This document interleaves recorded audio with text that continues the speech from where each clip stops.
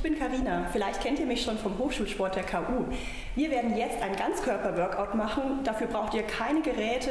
Schnappt euch nur eure Wasserflasche und los geht's. Wir starten mit den Squats. Achtet darauf, dass eure Knie stabil sind und euer Rumpf aufrecht. Der Po geht Richtung Boden, Knie gehen nicht über die Zehenspitzen hinaus.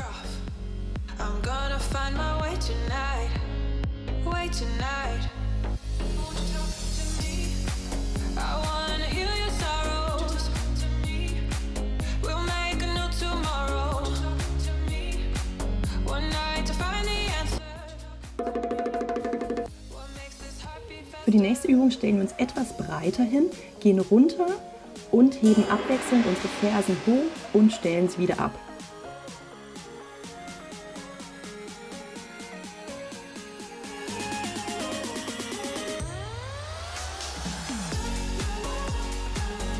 Auch dabei bleiben die Knie stabil und gehen nicht über die Zehenspitzen hinaus. Der Po geht nach unten und der Oberkörper bleibt fest und möglichst aufrecht.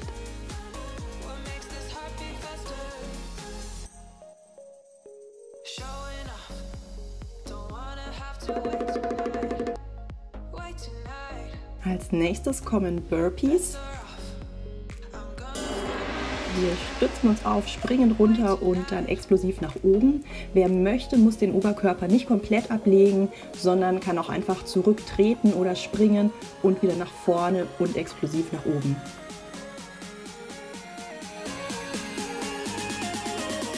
Achtet auch hier auf eure Ellenbogen, dass sie eng am Körper geführt werden.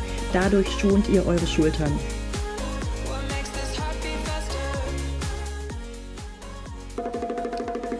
Geht weiter mit den Ausfallschritten nach vorne. Auch hier achten wir auf ein stabiles Knie, das nicht über die Zehenspitzen hinausgeht, auf einen aufrechten und festen Oberkörper. Wir haben bei allen Übungen eine Grundspannung im Oberkörper, im kompletten Rumpf.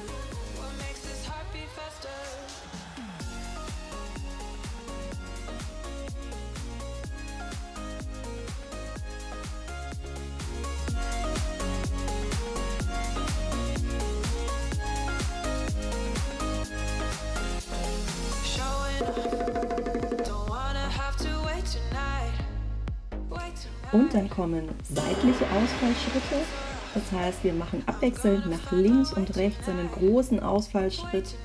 Auch hier bleibt das Knie fest und geht nicht über die Zehenspitzen hinaus.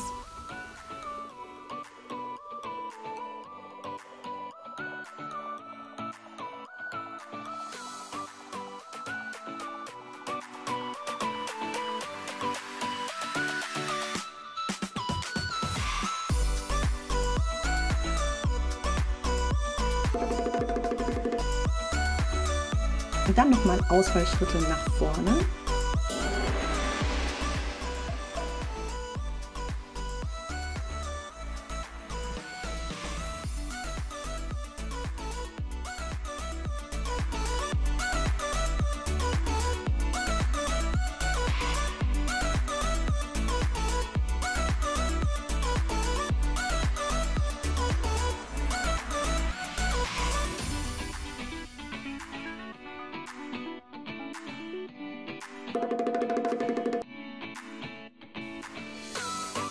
Und nochmal seitliche Ausfallschritte.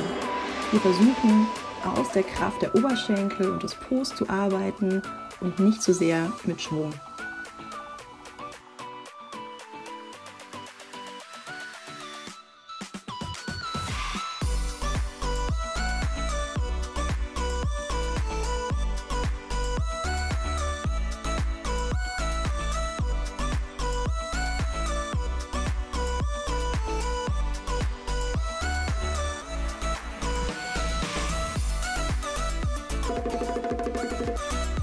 Dann für die nächste Übung gehen wir auf die Matte. Wir gehen in den Vierfüßlerstand und kicken mit dem linken Bein nach hinten oben. Wir ziehen das Knie zur Brust und kicken dann mit der Fußfläche nach oben. Vier Kicks und dann vier pulsierende Bewegungen.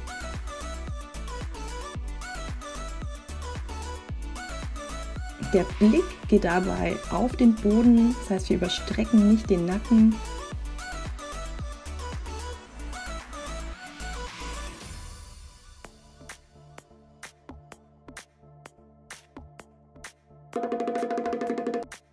Seitenwechsel, jetzt gleich mit dem rechten Bein, Knie geht zur Brust und dann schieben wir die Fußfläche möglichst nach oben. Viermal kicken, viermal pulsieren.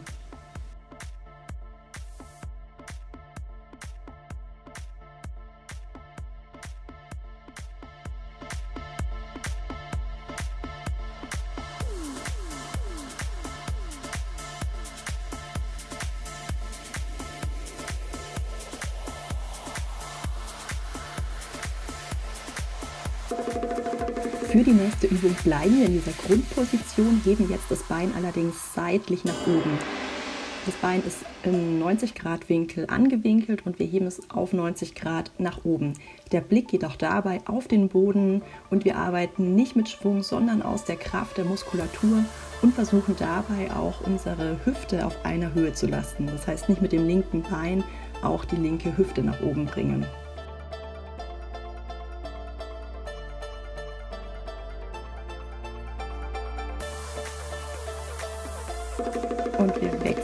Seite. Gleich geht es mit dem rechten Bein weiter. Wir heben auch das rechte Bein seitlich nach oben aus der Muskelkraft.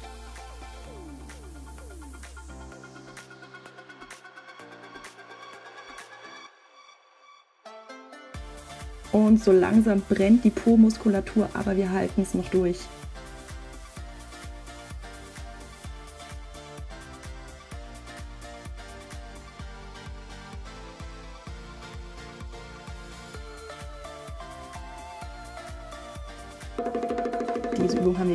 Als nächstes gehen wir in die Plank-Position und bewegen uns nach oben. Das heißt, es ist die bewegte Plank. Wir stützen uns abwechselnd auf die Hände und dann wieder nach unten auf die Ellenbogen.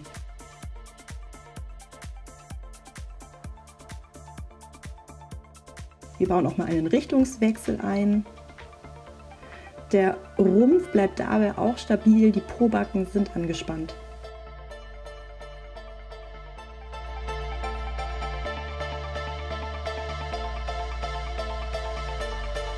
Dann gehen wir in den Seitstütz, heben die Hüfte nach oben. Wer möchte, kann auch seinen Arm nach oben strecken oder das obere Bein. Das ist aber kein Muss. Wichtig ist es, die Hüfte senkrecht ausgerichtet zu lassen, das heißt nicht nach hinten oder nach vorne zu kippen.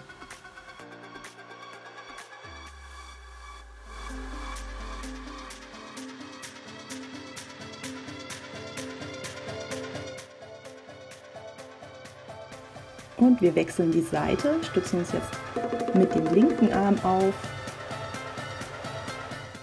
Wer möchte, kann wieder den Arm und das Bein nach oben strecken. Die Hüfte bleibt senkrecht ausgerichtet und nach oben gestreckt.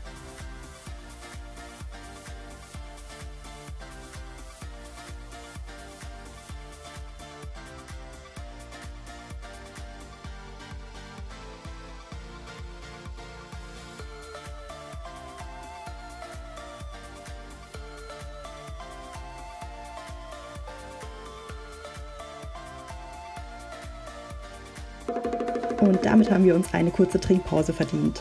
Sehr gut gemacht. Wir starten in die zweite Hälfte mit einer Bauchübung der Lokomotive.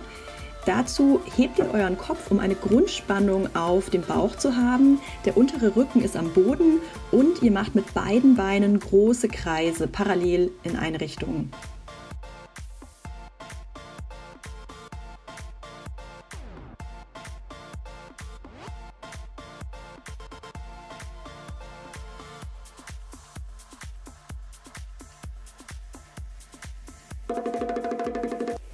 Und dann kommt ein Richtungswechsel, das heißt, wir machen die gleiche Übung, jetzt allerdings in die andere Richtung. Je weiter wir die Beine vorne ausstrecken, desto anstrengender ist es.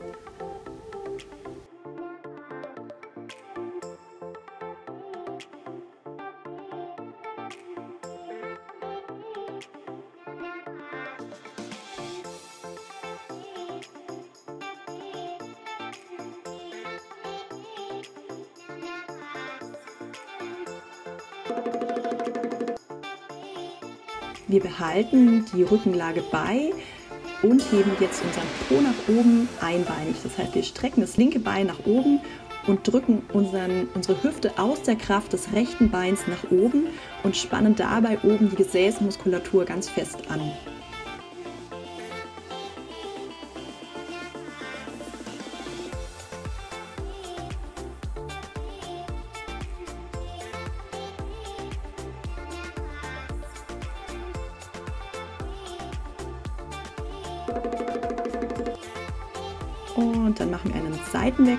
Heißt das gleiche jetzt aus dem linken Bein. Wir drücken die Hüfte aus der Kraft des linken Beins nach oben, spannen oben die Po-Muskulatur an.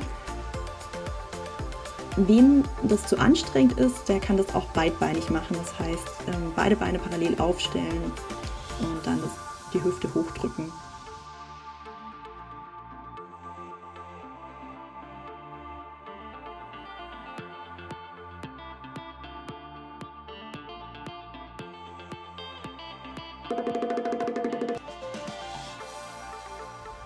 Für die nächste Übung legen wir uns seitlich ab, legen das obere Bein vorne über das untere und heben das untere Bein aus der Kraft der inneren Beinmuskulatur nach oben. Wir arbeiten nicht mit Schwung, sondern eben aus der Muskelkraft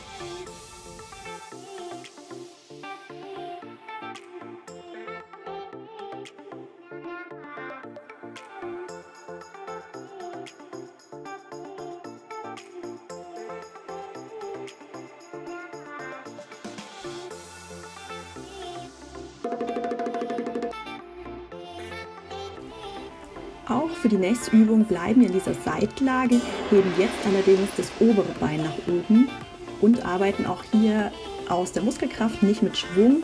Diesmal geht es auf die äußere Beinmuskulatur und wir lassen die Hüfte senkrecht ausgerichtet. Das heißt, die Hüfte fällt nicht nach hinten oder nach vorne, wodurch wir mehr mit der Beinmuskulatur oder dem Hüftbeuger arbeiten würden, sondern arbeiten aus der Beinmuskulatur.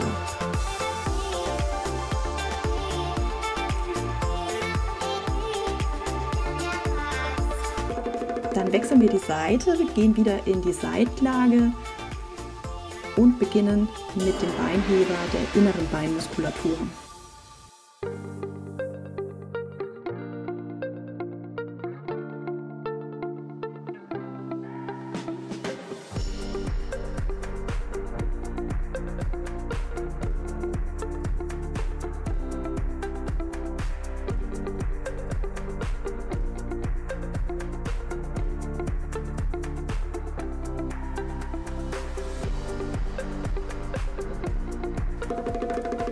Als nächstes wieder heben wir das obere Bein nach oben.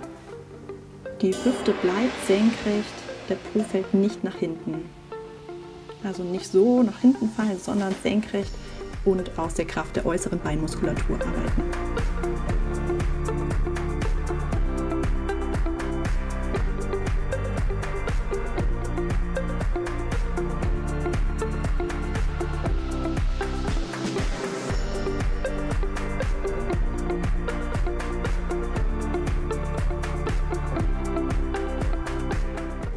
Für die nächste Übung gehen wir in Bauchlage, bringen unsere Fußflächen aneinander, pressen sie aneinander und heben die Beine aus der Kraft des unteren Rückens nach oben.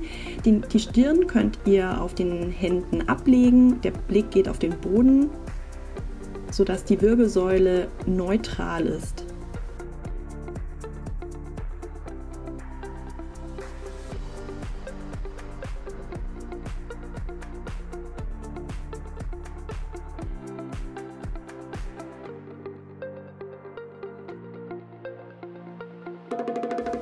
Die nächste Übung ist ganz ähnlich. Wir bleiben in dieser Grundposition, allerdings kicken unsere Füße jetzt nach oben. Die Fußflächen zeigen Richtung Decke und wir kicken eben aus der Kraft der Po und der unteren Rückenmuskulatur nach oben. Die Stirn kann auch hier auf den Handrücken abgelegt sein.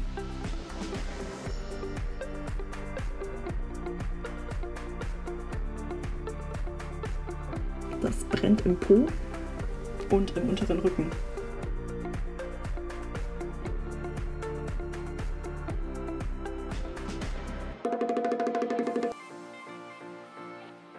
Als nächstes legen wir uns wieder auf den Rücken und heben jetzt beidbeinig den Po nach oben. Wir bringen unsere Hüfte und unser Gesäß so weit wie möglich nach oben, spannen die Gesäßmuskulatur an, als würden wir eine 2-Euro-Münze einklemmen wollen und die Knie bleiben dabei parallel und fallen nicht auseinander.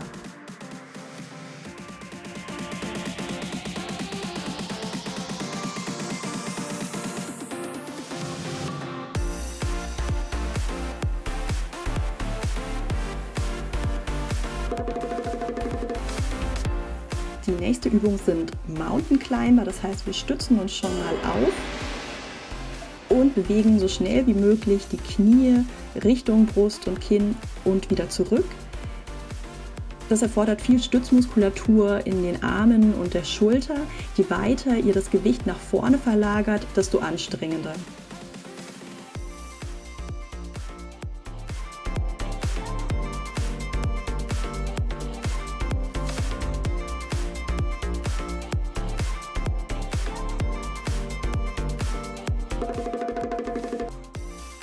Dann nochmal eine Übung für unseren Po und die Oberschenkel, die Jump Squats. Wir bringen den Po nach unten und springen explosiv nach oben. Knie bleiben stabil.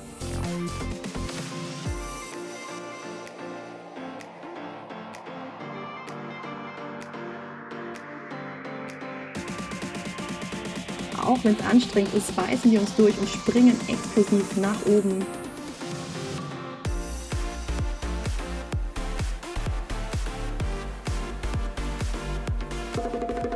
Und zum Schluss des Workouts machen wir noch was für unseren Bauch. Wir gehen in Rückenlage und fangen an mit den Bicycle Crunches. Das heißt, der rechte Arm geht zum linken Knie und umgekehrt.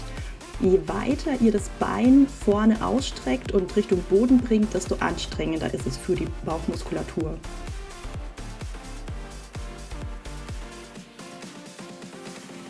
Und spürt mal richtig in diesen Twist hinein. Versucht unser, euren Oberkörper so weit wie möglich nach links und rechts zu bewegen, um die seitliche Bauchmuskulatur stärker anzusprechen. Für die nächste Übung stellen wir unsere Beine auf und versuchen mit unseren Händen die Waden zu berühren. Das heißt, wir richten unseren Oberkörper leicht auf und berühren unsere Waden.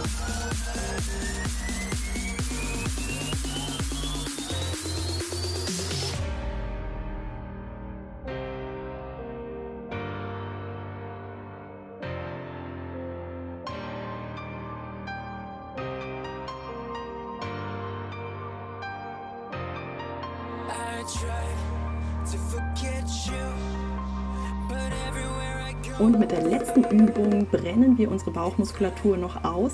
Wir gehen in die Schiffchenposition. Das heißt, der Oberkörper ist fest, die Beine sind leicht vom Boden abgehoben. Je weiter die Beine unten sind, aber noch nicht natürlich am Boden aufliegen, desto anstrengender für die Bauchmuskulatur. Und wir halten es, auch wenn es brennt. Aber das sind die letzten Sekunden.